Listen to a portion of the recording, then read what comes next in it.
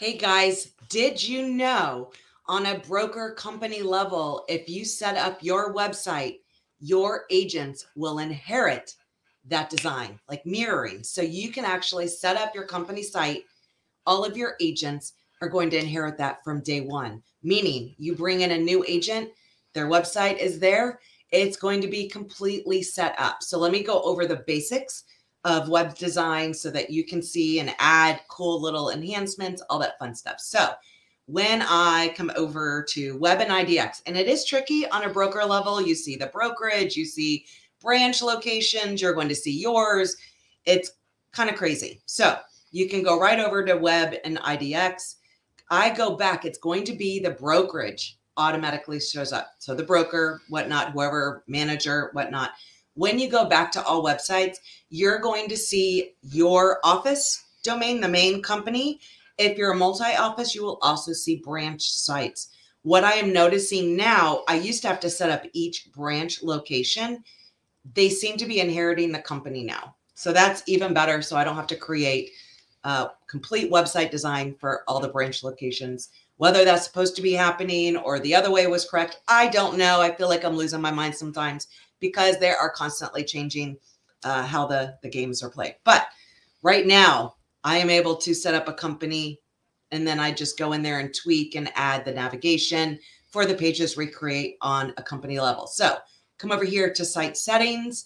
You're going to have your basic settings. So we have the Remix template. Some offices have all the templates. I don't think they're supposed to, but I have seen it. I just stick with the Remix one because um, it could be taken away if it's not supposed to be there. I've seen that happen too. So definitely background images. What I do notice on a company, if you add a video, that is what the the agents are not inheriting inheriting the photos if you're just using a photo header. I don't know why it should, but it's not. But they do inherit a video. I create all my video headers right inside of Canva. I just use the template for a YouTube video. And if you have a pro Canva and you live in a popular place, there is a ton. I have a bunch of videos pre-done already in my website, uh, Social Marketing Nut. If you go to the kvCORE sites and kind of scroll um, mostly down under the plans I have, I have videos. So I have like living areas, I have family lifestyle videos, I have a RE/MAX Build Your Business video.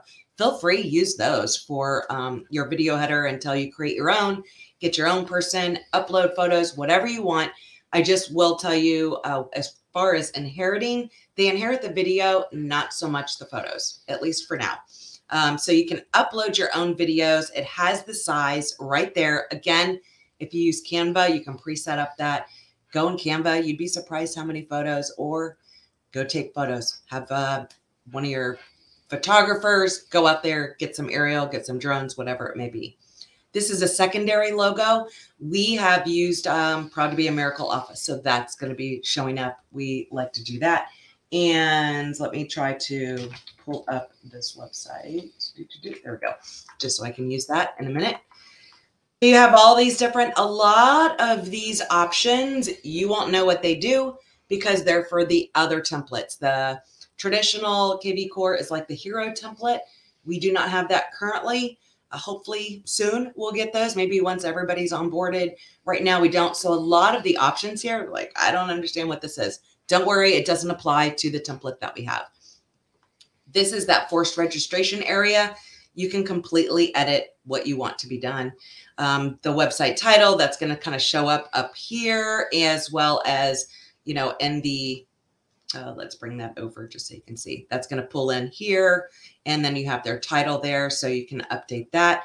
I personally do not want the smart number displayed on my website. I use the office number instead, only because when I had kvCORE independently, people would find the website and it's just people like basic admin. I want my front desk answering those calls. And the smart number is definitely a little uh, tricky. It's awesome tool tell your agents not to call it or text it. Just end of story. Let it let the system use that number and they can do text codes, which I have videos on that as well. But I personally like to use the office number, not the smart number. It confuses everybody. And I don't want my agents being a receptionist when it should be going to my front office. Just my opinion, completely up to you. Of course, you can if you have widgets or there's little hacks, you can add coding. Uh, this one is for my landing pages. So that uh, changes the color of the orange buttons. So they're blue, whatever it may be. So there are some different options where it may say enter this code in the header, the body, the footer. We have all those options. We can add those there. Definitely a little more advanced, but you can add in your office ID, uh, your URL for Facebook. You would just do the second half. So if it's like facebook.com forward slash office name, you just want the office name there. It will give you that that chat chat option. I personally like doing it on my business or my personal only because otherwise it goes into business manager and I get way too many messages. So I can't even have the, the business. Totally up to you. Um, let's see, contact phone. Da, da, da.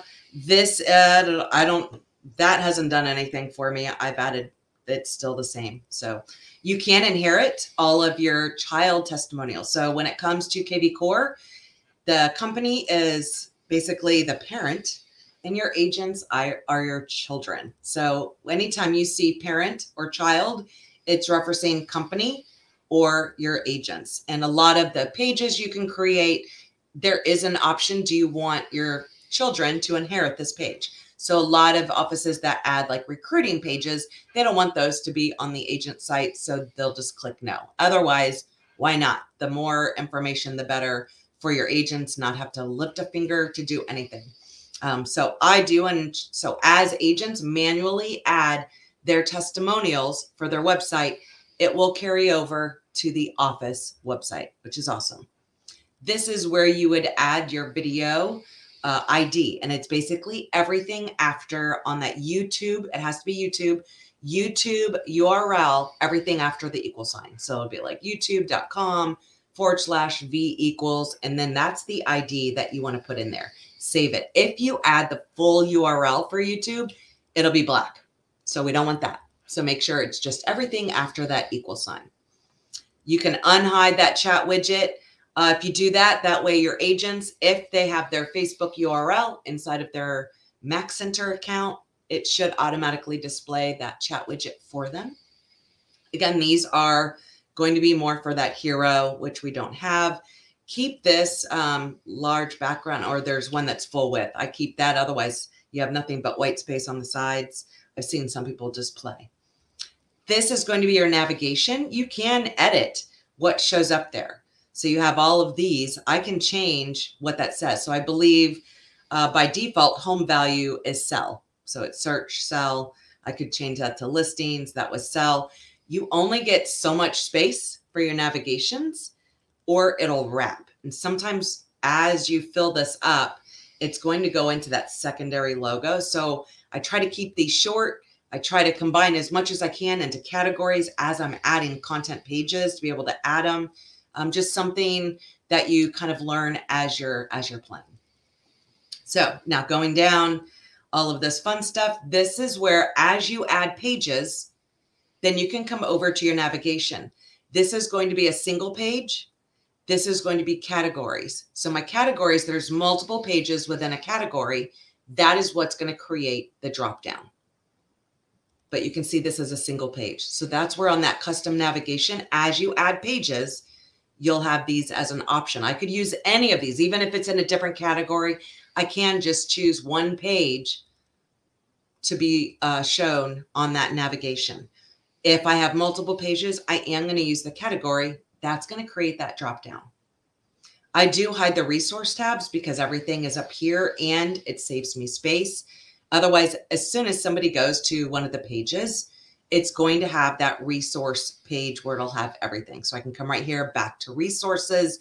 That's going to give you all of the pages that we have. So it's super easy for someone to find it, but I have what I want up here on my navigation. So I personally hide it because it, it saves my space on the options I have. Let's see, going down, this is your listing carousels. So every MLS I've noticed is a little different because a lot of teams, they may have the sold. So you can have like sold, my sold listings would be an option on an agent sometimes. I have a lot more options here than some of the other MLSs where it doesn't give much. But you can change. That's going to be all the way down on your home page you get three carousels that you can choose. So I like our listings on an agent. If they don't have any listings, it'll go from my listings to our listings and display their office location, all of those listings. It doesn't show company wide. I wish it would. That would be awesome. Or I wish we could just have a carousel to show all the company listings, but right now, not an option. So you can choose like our listings, just listed. I, I like just reduced. Default is going to say open houses. And I guess everybody has different opinions on that, but I really don't want to show on my website where all the other agents are going to be. So I like just reduced Plus, after listening to my husband talk at the, the water cooler talk at his office, you would think the sky's falling when it comes to real estate.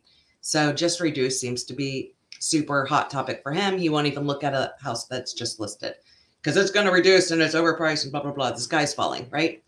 Make sure you go set up your Google Analytics. Super easy. I have a video on my website how to do that in two minutes. I literally start from the beginning and set everything up it's even if you don't do the reporting, it's nice to know it's there. I do monthly reporting. I want to know where my traffic's coming from and what's working. So I personally love it. It's free, it doesn't cost anything. Just go to Google Analytics and start going. Um, this I pretty much I leave pretty much all of that there. This is going to allow you to see what listings do you want to display. Every agent has this option typically when they say um, like i had a, an agent who had a rental it was like i don't have any my rental is not on my website but it's everywhere else. And i'm like go here. What are your settings? So that way if you do have a rental and you want it to display you can just check check the rentals and now it'll display with that next feed. So you can choose what listings you want to display. I personally don't want rentals. Just just uh, our opinion. We have a rental site so you can choose what you want to be displayed. If you're in an MLS in Florida, there's like Stellar. So that pretty much encompasses like from the east to the west coast. You may want to narrow that down if you have a large MLS area to show only certain counties. So I could do that and it's all, I'm able to now go down and pick all of the counties in our area. I don't have that problem. We just have one MLS. It's not crazy like some of those others. But you can narrow that down. Uh, I know with Stellar, it's like, okay, well, we have Daytona to Tampa. You know, maybe we don't want to drive three hours. So that's how you can narrow that down. And then going down, how do you want your default to sort? So this is days on market. I could be priced high to low, popularity. Although I can tell you if you do popularity, um, you'll find that there are $30,000 trailers available and those are very popular. So I don't like the popularity. The price high to low usually is going to display the pretty photos. Um, so I'm going to go ahead and reset that. This is going to be how your listings display. I personally like the map view. They do have grid and a list, which anybody can toggle between those. But I love the map because it's a visual. There's little dots on that area and then on the right side is going to show uh, like a grid of all of those listings that they can easily click on. So that's kind of your settings, your web IDX. But when you come into content, that is, and always make sure sometimes when you toggle, it's going to go back to a different website on a broker level. But definitely add in your service areas. You can add SEO. You can even add content above the default content in here. So here's like Cocoa Beach. Let's see what we have. If I go to cities, I make uh, all of those pages from the areas we serve area. And that's where I can add in more search engine optimization. So Cocoa Beach, what did I put for the top? I saw something in there. You can add code, you can add text. I like videos, all that kind of fun stuff. And let's see if it's going to pull up. Do, do, do, do, do. Well, I guess we'll, okay. Is it working? Come on. You can do it. I know you can. Maybe. All right, let's go back and we'll see if that goes there. Add in SEO. This any anywhere you can add in your own kind of search engine optimization, do it. And then of course we have custom pages.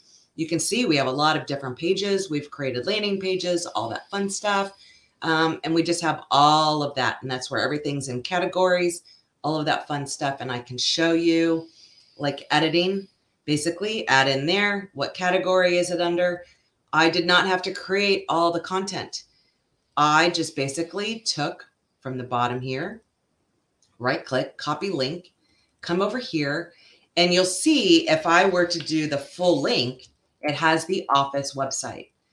I don't want, obviously, I'm going to be putting this on a drop down. I, as a page, because I'm creating this page, I'm going to remove everything, my website, the domain for the office. Otherwise, if you do set it up this way, and on an agent's website, when they have that drop down, it's going to go back to the office website. So if you remove that domain, it's fine. Just keep that slash areas, whatever that page is. Everything after there, kvCORE is going to automatically know what to do with it. So that way, all the agents have that. It's going to stay on their website. That's what we want. And of course, always make sure add in SEO everywhere you possibly can. So that is how basically I'm able to create all those fun things. So um, going over to widgets, that's what's really going to help you customize your site and give it a new look and feel. So the widgets that I am using, the featured area widget, my absolute favorite, you do not have to keep it as cities. It could be golf properties, waterfront homes. It could be so many different things. You have a lot of options to play with that. So definitely check that out. That's more of the custom stuff. Um, this one is your home worth. I like it because it gives me the opportunity. I use a widget for contact us. I have the home worth, which gives me the sellers and buyers. And then I have my market report. So those pretty much encompass all ways to be able to generate a lead. I keep it simple. Agents, at least off the bat, are going to have a nice site with all of the areas and different ways. They can completely edit and everything after the fact and they can't break it if they decide, oh, I don't know what I did. I was playing with widgets. I encourage them. You can't break it. All they'll have to do, they're going to see a little gray banner that says they're inheriting the parent site. They can go in there and just remove it, start adding their own. If they're like, oh my gosh, mine looks so ugly. I just want it to be back the way it was. They come over here, they delete all that. Immediately, it is going to re-bring all the parent site uh, widgets back to their site. So they can't break it. I encourage them, play with it, get the look and feel, change it up, all that fun stuff. So I do all of these fun things, um, play with the widgets, encourage that. But just know when you're setting it up and the agents can inherit it, I want to think of the agents, what's important to them. I don't want them to have to do a lot of editing because I want it to be kind of a one and done like magic. It's just there and they can edit, they can add their own logos, they can do a lot of stuff, but you can really change the look and feel of your website through the videos, secondary, and of course your areas. And feel free on the social marketing nut. I have a ton of different examples, whether it be company, teams, agents. Get inspired. I have videos showing you exactly how I do everything I'm doing definitely feel free to check those out. And of course, if you have any more questions, pop them um, below the video. I will do my best to get to them. So hopefully this helps. I saw a lot of people as they were entering the group, how to set up the website was one of the big, and you know, the onboarding and training, all that fun stuff. So stay tuned.